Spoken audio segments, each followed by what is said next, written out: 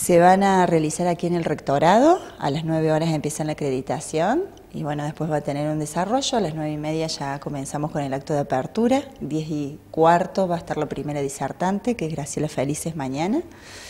Eh, ella va, va a estar un poco trabajando sobre el impacto de las prácticas artísticas en el funcionamiento cerebral. Después a la tarde vamos a tener dos expositores, que es el doctor Gatti y el doctor Granovsky. Gatti va a trabajar neurocognición y aprendizaje de la lectura y la escritura, implicancias educativas, y el licenciado Granovsky, neurocognición y desarrollo de las funciones cognitivas básicas, las implicancias educativas.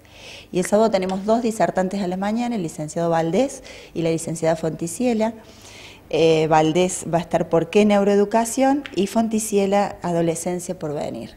Contar cuál es el eje central de esta jornada. Exactamente, todos vamos a profundizar, el tema es las neurociencias, eh, vamos a estar profundizando una temática, la idea es que el profesional que asista pueda eh, llevarse y nutrirse realmente conceptos propios de, esta, de este marco referencial, digamos.